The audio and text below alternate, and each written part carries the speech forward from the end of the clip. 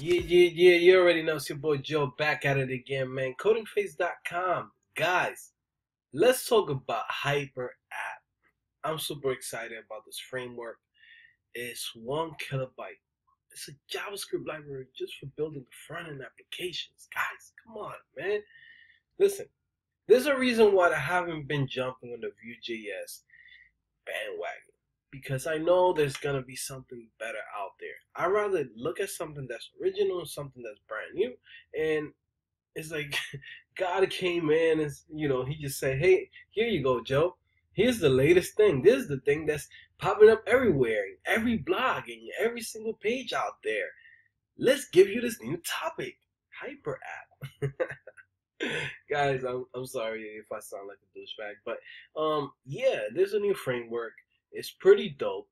Pretty much right now, it has 5,000 stars on GitHub. It's getting, you know, it's getting very popular nowadays. Like a lot of, you know, front end blogs and uh, JavaScript blogs, SitePoint. Uh, there's a whole bunch, you know, websites who are talking about this right now. Reddit, like it, it's all over, guys. Right now, what's cool about this is, like I said, it's one kilobyte. One kilobyte, and that's it. That's your framework. I forgot uh, how many kilo, kilobytes is JavaScript, like for React.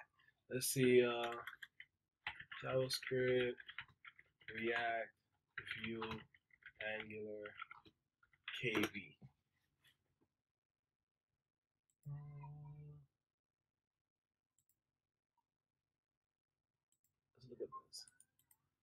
I just want to, you know, be clear, you know, be clear with things. So I want to look it up before, you know, I talk about it. So pretty much this are the numbers, right? So you have Vue.js 58, Reacts 133k, uh, Preact 16k, which is really good. You know, they're all doing good. You know, they're all doing pretty good.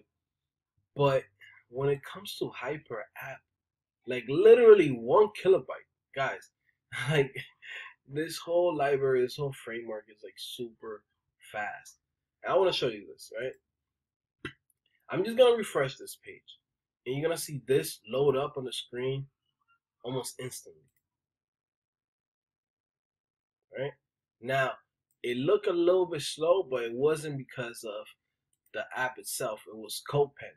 It has to load up, do everything I gotta do, render, then shows up.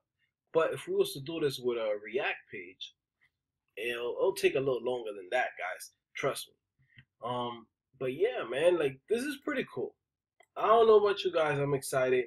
I'm excited to see something new. So this is based on Elm. I don't know if you guys have heard of Elm, Elm Lang. It's another language that you know compiles or transpiles to JavaScript, and but it's a whole different language. It's like completely different than what you expect, right? So it's like importing HTML. So it's what it does is HTML, JavaScript, and CSS all together in just one language, and then compiles it and gives you this. Now, is it great? I don't know. I've messed around with it, but to me, it seems too difficult in the sense of like to just put a little thing like a button. You gotta create like all of this lines, like what? Like I don't know. To me, it just seems too much work for no fucking reason. But I like the idea of a of you know functional programming and, and everything that it has. I like the idea of it. I'm not a big fan yet. I haven't really played around with it for a long time. But going back to Hyper App, I think it is great, guys. I think it's really great because you know people are gonna jump on this, man people love saying, "Hey, I'm on the fastest framework. I'm on the fastest library," and the fact that you could do JSX too on it, I think is great, guys. Like I would say, check it out. Take a little time, play around with it. It's super easy. You can read the docs. It tells you everything what you got to do. It's very similar to Vue and well, it's not even Vue. We'll say Backbone, right? Because Backbone is the first one doing this shit. Um, it's very similar to Backbone. So in this sense, in the way how it's is set up, but it's pretty cool, man. I think like in a few lines you could get something very productive. You know, like I don't know. I'm, I'm planning on doing a couple of components. This is just my first look at it, and my first, you know, my first little quick review for you guys, just to get you guys excited about it. But yeah, man, check it out. Hyper app, man. Trust me, guys. This is one of those things that, like, once it hits the ground, man, and like everybody knows about this shit, I'm telling you guys, this shit just came out and already got five thousand, you know, fucking five thousand stars on, on GitHub, right? It's like it's getting everywhere. Every fucking blog is talking about it. Every, you know, I haven't seen on YouTube yet. I wonder who who's actually out here talking about it, right? Let me check. Let me check. Let me not talk shit.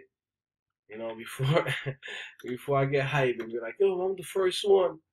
You know, so I guess Andy Johnson, which I don't know who the hell is Andy Johnson, but Andy Johnson was the first one to talk about HyperApp. So that's cool, man. All right, guys. So, anyways, I'm gonna see you guys later. Um, stay up, man. I'm making a couple of videos, and like I said, I'm working on this uh, Pokemon tutorial, this course that we're building right now. If you're a member of my website, codingphase.com, make sure you go check out the future proof javascript course because you're gonna learn so much guys trust me i'll see you guys later all right hey man you thought it was over nah dogs listen it's a whole new world right here man when you click show more you're gonna see everything all right you got 50% off to my website codingphase.com automatically because it came from youtube that's the coupon code, kids. All right. And then from there, you got uh, my sponsor links, of course. But it's crazy because I'm sponsored by them now, udemy.com. But it's crazy because they taught me how to become a developer when I was doing this by myself. And I'm proud to say that. I'm proud to say, hey, I'm actually a developer who's successful and I'm doing my thing thanks to Udemy. Okay, guys, check those links out. Best instructors in the world. They're right there. Trust me, guys. Believe in me. All right. And then from there, you got the Discord, which is basically a chat room. It's a, a way to communicate with each other. Like, you know, all my friends are in there. You got your boy Matt. You got your girl Barbara. You got a couple of people in there. You know, we got Cam. We got the whole squad is in there, guys. Listen, check it out, man. Put in some time. Just click on that link, show more, and you will see all the most valuable links. All right, guys. Fun don't stop here, man. The fun don't stop just on this video. There's a whole community to this. CodingPhase.com. I'll see you guys later. Bye.